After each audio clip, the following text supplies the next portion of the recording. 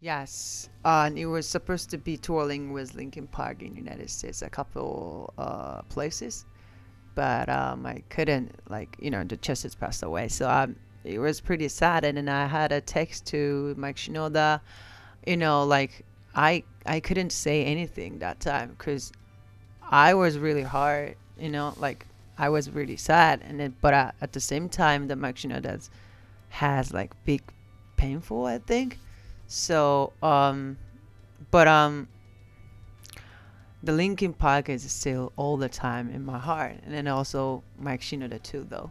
So um, yeah, the the few months later, I was texting to him, and then are you sure? Are you everything is okay? And then yeah, he said yeah, great. And then if we like have a chance, like just came to the studio, and then like you know doing some session. He said, and I said yeah, definitely, why not? Hundred percent, I down, I'm down.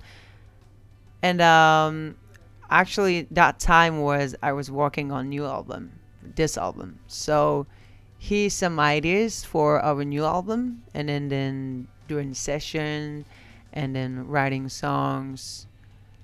But that time was we don't have a time too much not much. So um the next time i, I think it's next time it, it was uh, uh, the summer sonic in japan and then I had a good conversation at the green rooms, and he said like I have a more like, you know, uh, ideas for uh, your album, and then also um, maybe some other artists too.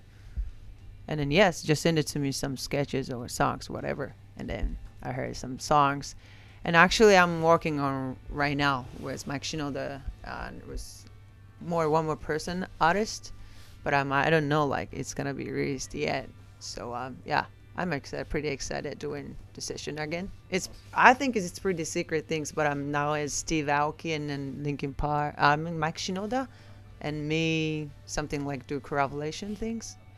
But I didn't recording yet, so No, sure, sure. yeah, Just hopefully, hopefully. yeah.